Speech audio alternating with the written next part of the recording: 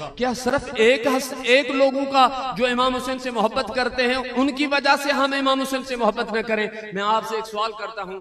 बैतुल्लाह को करीम को अल हदीस तवाफ करते हैं या नहीं?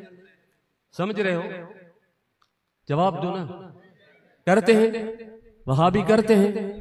सुन्नी करते हैं। शिया भी करते हैं। जाग रहे हो ना?